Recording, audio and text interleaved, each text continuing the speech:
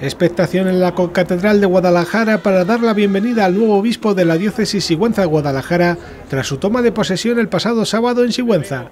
Monseñor Julián Ruiz Martorell llegó acompañado del Monseñor Atilano Rodríguez, quien se encargó de presentar al nuevo obispo a las autoridades. Esperaban la corporación municipal casi al completo con la alcaldesa Ana Guarinos a la cabeza.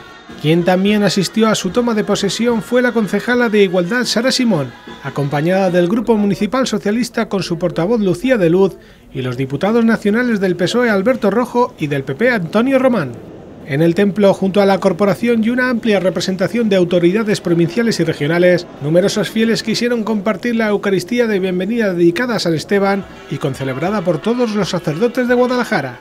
Tras una breve presentación de la diócesis por parte de su antecesor, Julián Ruiz se dirigía por vez primera a los fieles de Guadalajara y agradecía las numerosas muestras de cariño y afecto recibidas desde su llegada a la diócesis. Tras finalizar la Eucaristía, el obispo volvía a saludar a todos los miembros de la corporación presentes y a los feligreses que quisieran acercarse.